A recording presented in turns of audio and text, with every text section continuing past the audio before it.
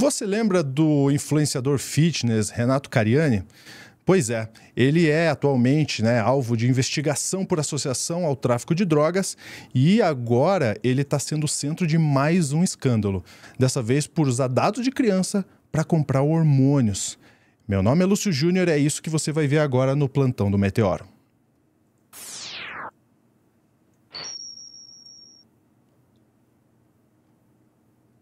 É, vamos falar do Renato Cariani mais uma vez. Eu vou chamar a Sofia Labanca para conversar comigo. Sofia, seja bem-vinda.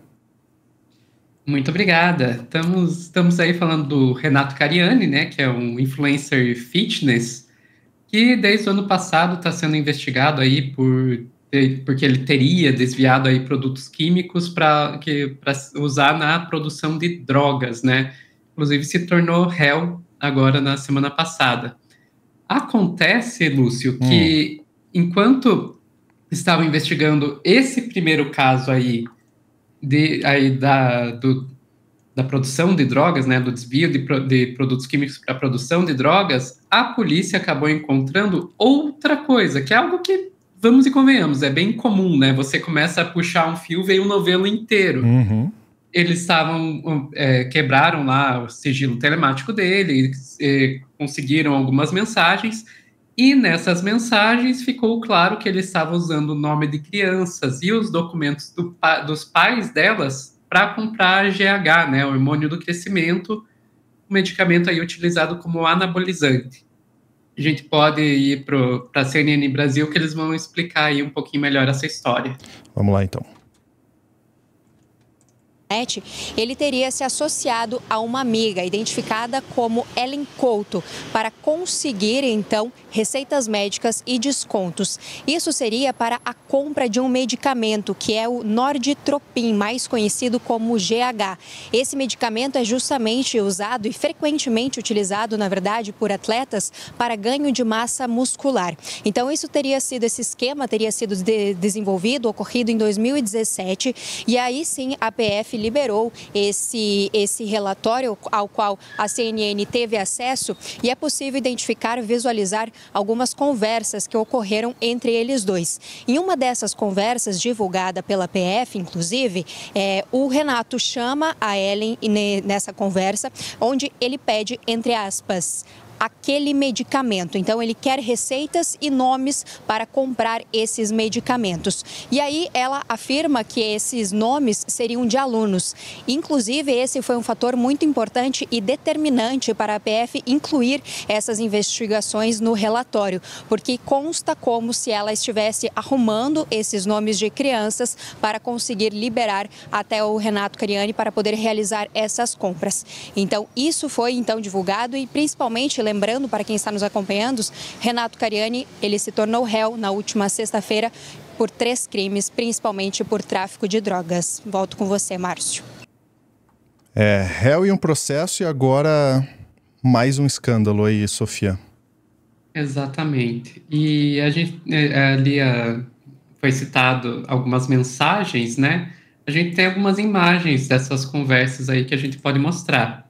Então, na primeira delas que está aí na tela, a gente vê o Renato dizendo: Amiga, consegue dois nomes de crianças com dado dos pais para mim, por favor? Preciso comprar mais daquele medicamento. E a Ellie responde: Consigo sim. Daí, avançando aí na conversa, a gente pode, vai chegar aí na segunda troca de mensagem que, que ele responde: Show, mas só serve os dois juntos, mas já guarda esse aqui. E daí o emoji de mãozinhas juntas, né? Preciso só da identidade do pai. E a Ellen responde: Já liguei lá, fiz o cadastro e ele me enviou o número do voucher, só comprar. Então você vê aí que realmente é, ela era fornecedora. Daí, passando para a próxima mensagem, a gente vê que parece que tinha policiais envolvidos nesse esquema também. Porque ela fala ali: tivemos vistoria agora da Polícia Civil na Quimia Teste, né? E, e daí uma imagem que a gente não tem acesso, a gente não consegue ver o que, que tem essa imagem. E o Renato responde: Deixa comigo, não se preocupe que tenho amigos lá. Napoleão é um deles, ainda cita o nome do, do cara, né? Daí, finalmente, a última imagem que a gente tem aí mostra: Olá, querido, só para te avisar que os seus amigos policiais estiveram aqui, fazendo vistoria uh, pela Quimia Teste. foi tranquilo. Ele disse que depois te liga. Beijos. E daí o Renato responde com dois emojis, né? Mãozinha junta e coraçãozinho, dizendo: Que bom que são meus amigos, querida. É uma conversa uh, bem amistosa, né? De pessoas que se conheciam, não tem como dizer o contrário. É, e, e, de fato, parece haver ali um, todo um esquema para conseguir esses nomes e, em busca desses medicamentos, né, Sofia? Exatamente. E é uma coisa assim que é muito perigosa, né? Começa por aí, nós estamos falando de medicamentos anabolizantes que são controlados por uma razão. E a gente acaba vendo aí outro crime, e ainda crime envolvendo crianças, né? Que é, é realmente torna a situação ainda mais escandalosa. E isso, como você falou, né, é, é, um escândalo em cima de, de uma outra investigação da qual ele já é réu, né, de, aí pela, por associação ao tráfico de drogas. O problema é que, assim, o Cariani não tem o perfil que as pessoas cons, cons, costumam imaginar, né, é, o, quando o, pensam em traficante, né? A gente, quando a imagem que a é. sociedade é. vende do traficante é aquela pessoa que vive na periferia, que tem uma determinada cor de pele, né? Pessoas negras, pretas, pessoas aí numa situação de vulnerabilidade social, e o Cariani não, não se enquadra em nada disso. É um homem branco, famoso, rico, que tem aí muito trânsito pela imprensa, né? Já, já fez live com Bolsonaro, já fez é, reality show com Danilo Gentili, então, não é o tipo de pessoa que a gente imagina quando se fala traficante.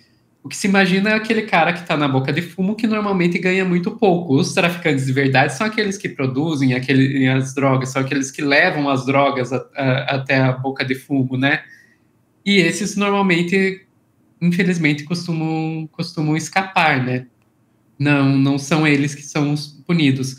E daí isso aqui acaba se refletindo numa situação que a gente já conversou em outra ocasião, né, Lúcio? Uhum. De que muita gente continua acreditando no, no Cariani. Claro, a gente tem que esperar até o julgamento, até trânsito julgado, antes de condená-lo. Não, não, não podemos condená-lo antes de disso acontecer. Mas a gente está vendo aí que provas não faltam.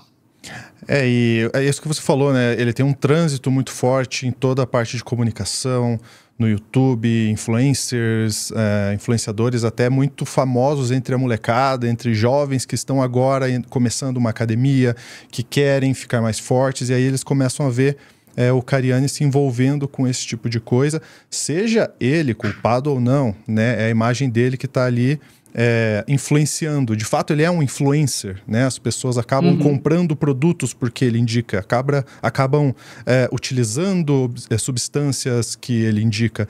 Então, é preocupante, é preocupante é, que essa influência, em caso de condenação, como que vai ser esse impacto de fato nas pessoas que seguem esse influenciador, né? Ele segue dizendo que é, que é inocente, tem outras pessoas que podem estar envolvidas. A polícia fez um, um, trabalho de investigação, então é muito difícil você afirmar alguma coisa porque é, a gente não teve acesso a todos os dados da investigação, uhum. né? Mas a gente sabe que quando uma investigação chega nesse ponto de tornar ele réu, é porque tem muitos indícios, né? E aí uhum. a gente uhum. vai deixar a justiça de fato dizer pra gente se esses indícios comprovam de fato tanto na investigação de associação ao tráfico de drogas quanto nesta agora, é se o Cariani é, é culpado, né?